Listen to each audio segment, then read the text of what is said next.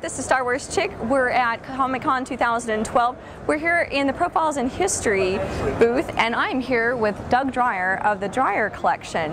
And Doug, for those that, uh, that are watching, give them a little overview of what the Dreier Collection actually is. The Dreier Collection is really my family's uh, collection of, of props and costumes from movies we grew up watching. And so we, we really tried to focus on uh, films that everybody knew, and from those films we went with props and costumes everybody would recognize. And if you want to use that as iconic, that you could do that. But we wanted people to come through our collection and, and to know everything. There, there wouldn't be a, a prop that would be that would require a lot more description. It was things that uh, you'd walk in and you'd see this, and instantly you'd know what it was. You'd see a crystal, you know instantly that it's kryptonite. We went for things that would bring back memories of people and, and, and pop culture icons. I get goosebumps thinking about that, especially with Superman behind us.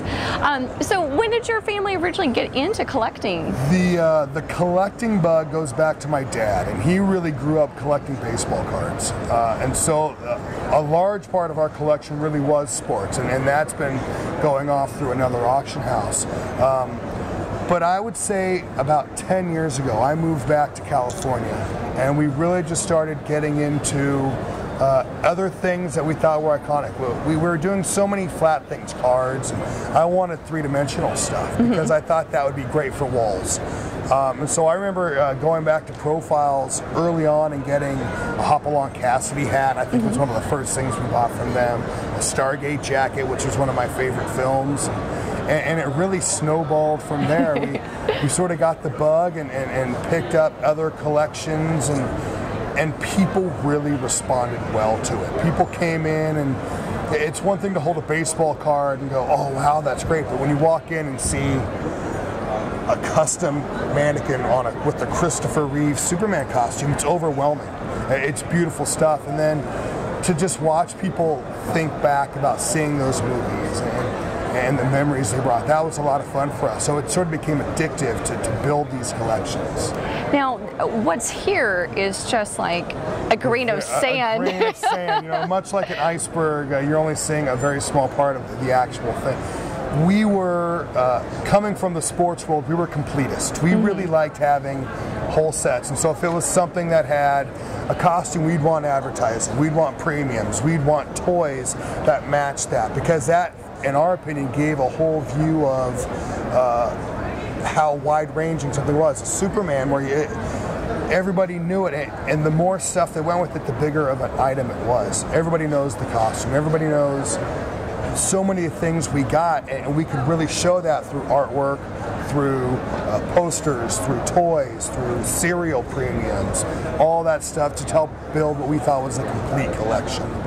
Now, uh, the biggest question in my mind, and I'm sure for, for you know most of the people that are in this kind of a hobby, why would you sell all of these? Well, you know, and, and, we get that question a lot. And we were at a point, we had this beautiful facility uh, that we did a lot of charity, a lot of corporate events. And we were getting to a point where it was becoming really popular and really big. We were 20 to 30 events a year that were larger than 75 people, and maybe the same number of, of smaller groups, plus tours, plus you know friends coming by. It got to a point where it was becoming too much. I just had my third child, a little eight-month-old now. Um, my father retired. My mom and he want to travel. My mm-hmm. wife is European. She's Danish. So we want to spend a lot more time in Europe. And we just said now is the time to, to, to do it. You know, we've conquered Everest. We've climbed the top, and now we're, we're ready to go down and, and do new things. We're still collectors. We still have a beautiful book collection. We have a beautiful gems and minerals collection. So we're not getting out of the concept. We're really just trying to simplify our lives. And it's been, it's, it's worked out really well for us. Are there any pieces that personally you guys are going to hold on to because they have sentimental you know, uh, connection? There were gifts. You know, we, we, we, were fortunate to have plenty of actors, plenty of producers, directors, friends come through the, the collection.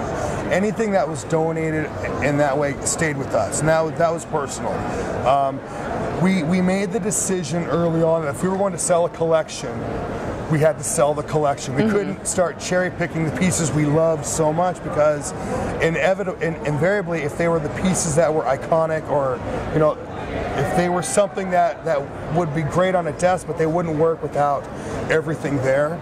So, other than personal items, we really decided that if it's going to go, it's going to go. We're going to let it go, and, and we felt very good about it. We had a great exit strategy, and we're doing it on our terms, and so it's That's made it a lot easier. So no regrets. No regrets.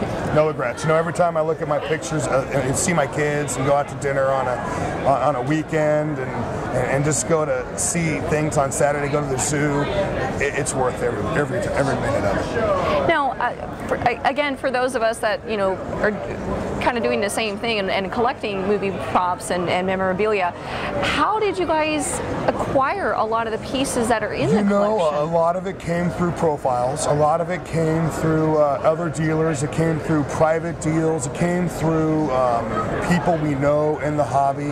It came from people in the industries. Uh, a lot like our sports collections, you know, we, we were fortunate to make wonderful connections.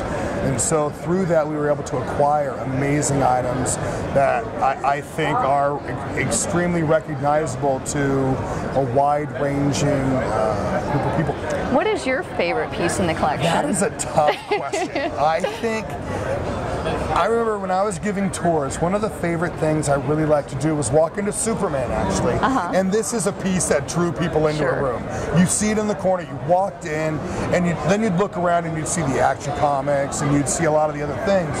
But the Jor-El costume was absolutely a blast because you it was interactive. It required a little bit of story and it required a little bit of work. You would go in, you'd say, okay, turn off the lights, get your ah. camera out, take a picture, and they would take it, and then that costume would glow, and people would just, oh wow! And even here at, at Comic Con, I'm telling you, take a picture with your flash; it's worth it.